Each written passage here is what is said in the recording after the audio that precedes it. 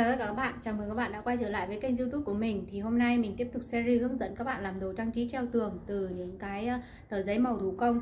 Thì trên tay mình đây là những cái que mà mình đã quấn từ những cái tờ giấy màu thủ công. Hôm nay thì mình sẽ trang trí cái khung hình của mình từ những cái que này. Sau đây xin mời tất cả các bạn cùng mình bước vào video chi tiết.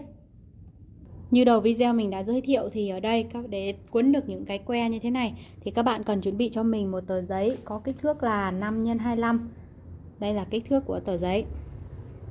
Có kích thước là 5 x 25 và các bạn cần chuẩn bị cho mình một cái que gỗ chuyên dụng như thế này. Bây giờ thì mình sẽ dùng cái que gỗ này, sau đó mình sẽ dùng cái ờ, giấy đặt vào cái phần que gỗ và cuốn cái que gỗ này. Sau đó thì mình sẽ rút ra và tiếp tục cuốn. Mình sẽ kéo làm sao cho nó bằng. Và cái ờ, sau khi mà mình đã cuốn xong như thế này thì bây giờ mình sẽ dùng keo để cố định cái phần que giấy của mình lại. Như vậy là mình đã có một cái que giấy rồi. Thì ở đây, các bạn cắt làm sao cái que giấy này bằng với cái kích thước của những cái que mà mình đã cắt sẵn. Ở đây thì à, mình sẽ cắt cái à, que này có kích thước là 20 cm bây giờ thì mình sẽ đo cái à, que này và cái thước sau đó thì mình mới bắt đầu cắt nhé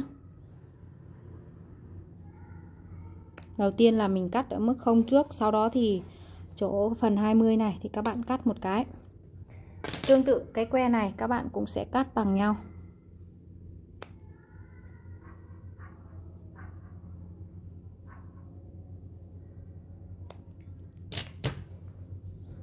Như vậy là mình đã có được hai cái que rồi.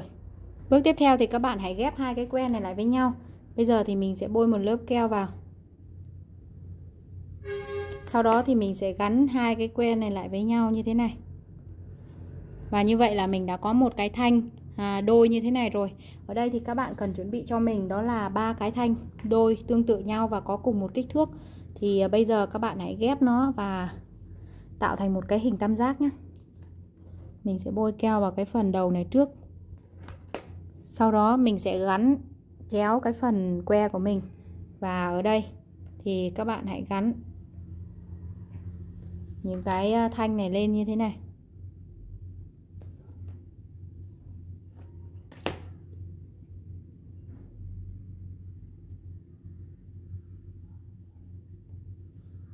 Như vậy là mình đã có được một cái hình tam giác như thế này rồi. Thì à, để trang trí để tạo thành một cái khu, phần à, khung hình ngày hôm nay thì các bạn cần chuẩn bị cho mình đó là hai cái hình tam giác. Bây giờ thì các bạn hãy ghép hai cái hình tam giác này lại với nhau như thế này nhé sẽ ghép nó lại. Các bạn đặt cái hình tam giác này vào bên trong cái phần khung hình này. Sau đó thì căn đo làm sao cho cái phần khung hình của mình có những cái hình tam giác nó thật là đều nhau và tạo ra được một cái hình ngôi sao như thế này. Sau khi mà mình đã căn được bằng nhau rồi thì bây giờ các bạn hãy dùng keo. Sau đó thì gắn cố định những cái phần que này lại.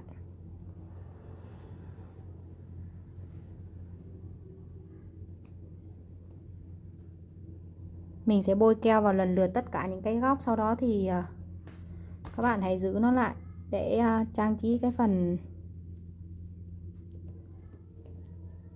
Như vậy là cái khung hình ờ, ngôi sao của mình đã hoàn thành. Thì sau khi làm được cái phần hình ngôi sao rồi thì bây giờ các bạn hãy chuyển sang bước tiếp theo, đó là làm những bông hoa để gắn lên những ngôi sao này. Ở đây thì để làm được những bông hoa các bạn cần chuẩn bị cho mình hai tờ giấy với hai kích thước khác nhau, đó là 7 x 7 cm và 5 x 5 cm. Thì đầu tiên mình sẽ làm với cái ờ, phần màu giấy màu đỏ này trước. Các bạn hãy ờ, gập chéo tờ giấy lại.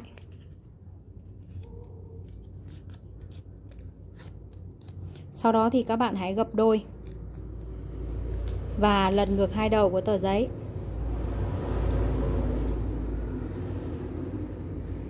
tiếp theo các bạn hãy lật ngược tiếp một đầu và dùng kéo để cắt bỏ cái phần dư này đi. Sau khi các bạn đã cắt bỏ được cái phần dư xong rồi thì mình sẽ bắt đầu dùng bút chì để phác họa cái cánh hoa nhé đây là phần cánh hoa của mình thì à, sau khi phác họa xong thì các bạn hãy dùng kéo và cắt theo cái đường mình đã mình đã vẽ nhá. Thì à, mình sẽ gập một cái bên cánh hoa lại để cắt cho hai cái phần bên của mình được bằng nhau. Như thế này là mình đã cắt xong được một bông hoa. Thì để trang trí cho, để à, tạo cho bông hoa của mình trông đẹp mắt hơn thì các bạn hãy cắt một cái hình tam giác nhỏ ở phần bên trên đầu của bông hoa. Sau khi cắt xong, mình sẽ mở ra cho các bạn xem. Đây là phần cánh hoa của mình. Thì à, để ờ, bông hoa của mình được đẹp hơn nữa thì các bạn hãy gấp đôi từng cái cánh hoa một lại.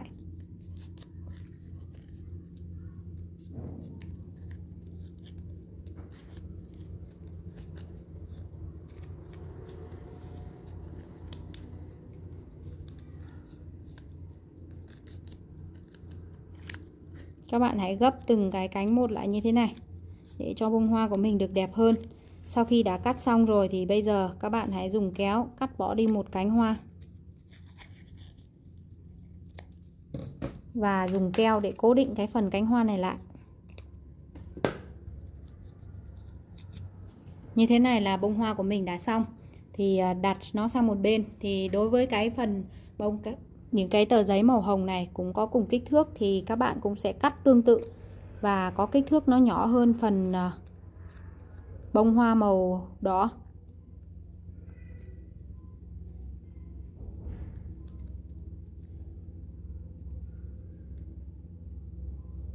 Bây giờ thì mình cũng sẽ dùng kéo để cắt bỏ những cái phần dư này đi.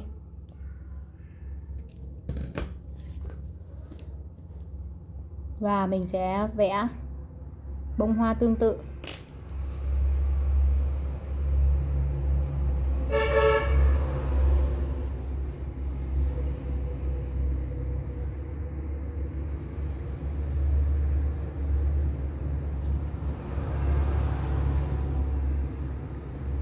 Bây giờ thì à, mình sẽ cắt một đường chéo ở giữa và sẽ mở ra và gấp đôi từng cái cánh hoa một lại. Như thế này.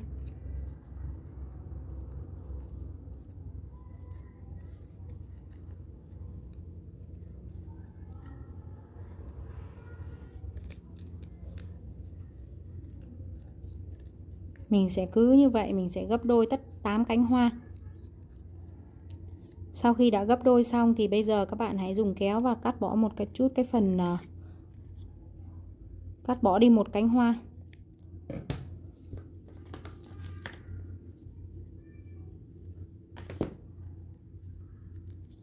Như vậy là mình đã có xong một bông hoa rồi. Để mình sẽ tạm gọi đây là một bông hoa mai nhé thì ờ, bây giờ mình sẽ ghép hai bông hoa này lại với nhau. Và các bạn phải ghép từng cái cánh này nó bằng nhau nhé. Để tạo điểm nhấn cho cái bông hoa này thì mình sẽ dùng một hạt xốp màu trắng để gắn vào chính giữa bông hoa. Và đây là cái hạt xốp của mình thì bây giờ mình sẽ gắn vào chính giữa bông hoa.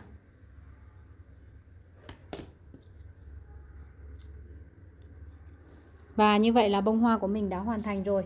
Ở đây thì mình cũng chuẩn bị rất nhiều những cái bông hoa tương tự nhau và có cùng kích thước với nhau. Như thế này. Bước tiếp theo thì bây giờ mình sẽ hướng dẫn các bạn làm một bông hoa như thế này để à, trang trí xuống bên dưới của khung hình của mình. Thì để làm được những bông hoa như thế này thì các bạn cần chuẩn bị cho mình một cái bông hoa mà nó có cách gấp tương tự giống như cái phần à, bông hoa màu à, đỏ kia và cũng có kích thước là 5 x 5. Thì ở đây có cái phần tờ giấy này có kích thước là 3 x 3. Đây là kích thước của tờ giấy màu đỏ thì các bạn hãy gấp đôi lại thì cách gấp của bông hoa màu đỏ này tương tự giống như bông hoa màu hồng.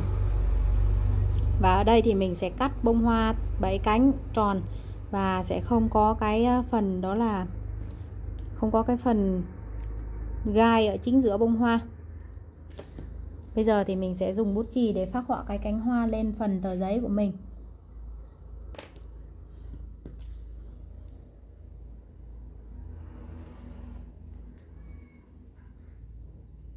Mình à, sẽ cắt theo cái đường mình đã vẽ. Sau khi cắt xong thì bây giờ mình sẽ mở cái phần bông hoa của mình ra. Như thế này. Mình sẽ, cũng sẽ cắt bỏ đi một cánh hoa. Và dùng keo để cố định cái phần cánh hoa này lại. Tiếp theo các bạn hãy bôi một lớp keo vào chính giữa và gắn nó vào phần bông hoa màu hồng để à, trang trí cho phần bông hoa màu hồng được đẹp mắt hơn thì mình cũng sẽ gắn một hạt xốp vào chính giữa của bông hoa màu đỏ nhé. Và đây là hạt xốp nhỏ của mình. Mình sẽ sử dụng hạt xốp màu trắng để gắn vào bông hoa màu đỏ. Như vậy là mình đã hoàn thành xong một bông hoa hồng như thế này. Ở đây thì mình cũng chuẩn bị rất nhiều những bông hoa tương tự và có cùng kích thước với nhau.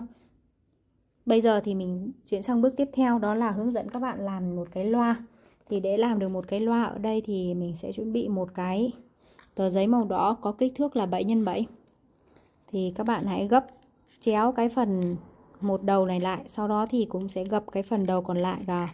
Như thế này.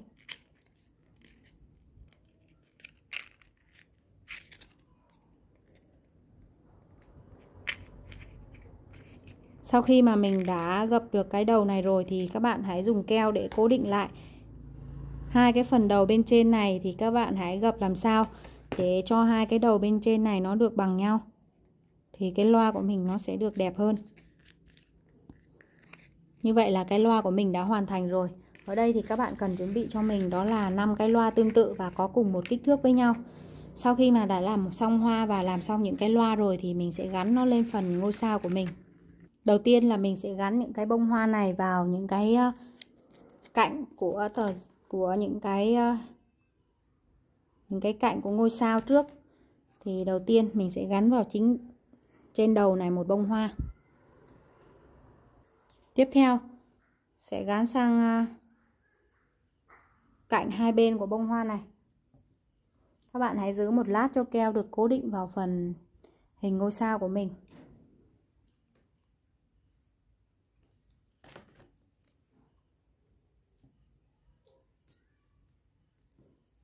Tương tự, hai phần bên dưới này các bạn cũng sẽ gắn hai phần hai bông hoa màu đỏ này. Ở đây thì à, các bạn cần chuẩn bị cho mình đó là 6 bông hoa màu đỏ để gắn vào 6 cạnh của hình ngôi sao.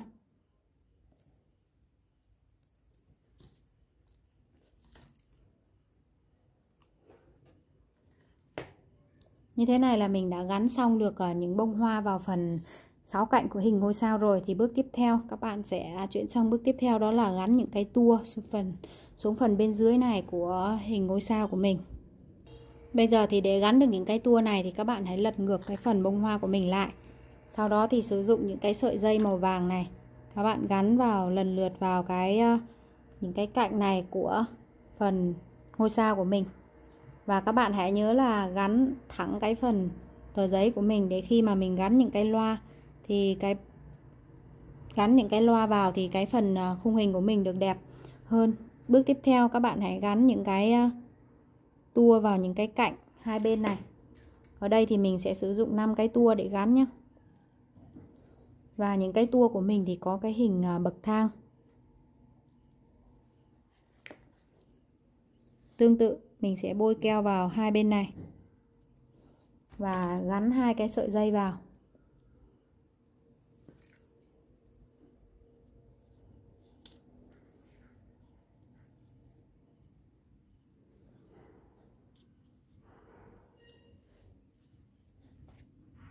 Sau khi mình đã gắn được những sợi dây như thế này rồi, Bây giờ thì mình sẽ lật ngược cái phần à, khung hình của mình lại. Như thế này. Bây giờ thì mình sẽ dùng kéo để cắt bớt những cái phần tua bên dưới này đi. Đầu tiên là hai cái sợi dây này. Các bạn hãy cắt làm sao cho những cái sợi dây này nó bằng nhau. Sau khi cắt được những cái phần sợi dây bằng nhau rồi thì bây giờ các bạn hãy cắt lên những cái phần như thế này nữa. Đây là cái phần tua hình bậc thang của mình. Bước tiếp theo thì các bạn hãy gắn những cái loa này vào phần ờ, sợi dây bên dưới. Mình đã xếp thành ờ, một cái hình bậc thang như thế này thì bây giờ mình sẽ bôi keo vào và gắn cố định cái phần khung hình của mình vào.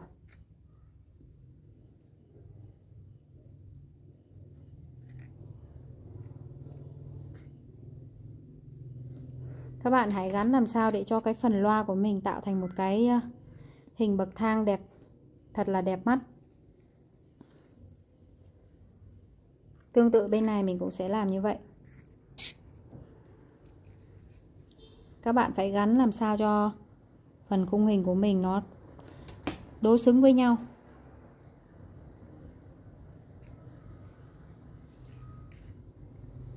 Tương tự, bên này mình sẽ gắn tiếp một cái nữa.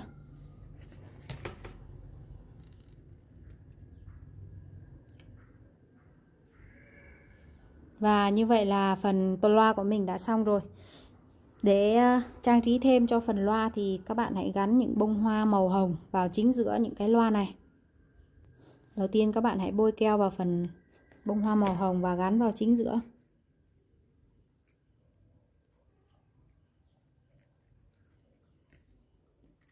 Tương tự, bên này mình cũng sẽ làm như vậy.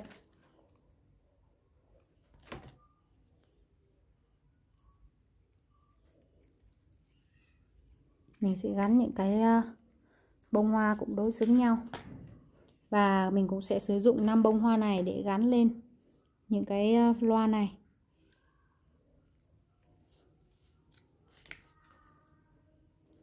Như vậy là mình đã sắp hoàn thành xong những cái loa bên dưới rồi.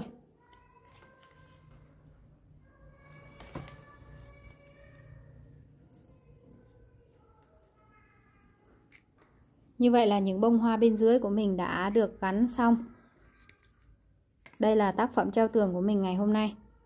Tác phẩm treo tường của mình ngày hôm nay được mình à, làm từ à, thành một cái hình ngôi sao và xung quanh hình ngôi sao thì mình đã gắn những cái bông hoa đào lên à, sáu cạnh của hình ngôi sao và bên dưới này thì mình đã trang trí những bông hoa nhỏ à, mình đã làm từ à, những cái tờ giấy màu thủ công với những cái màu sắc khác nhau để tạo thành một cái à, đồ trang trí treo tường bắt mắt như thế này.